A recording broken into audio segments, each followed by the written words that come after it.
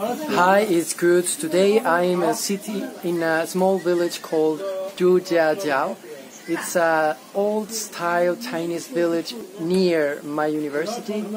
And today I have the time and I came with my friend Alisher and we will just show you around uh, the beauty of this old traditional Chinese village.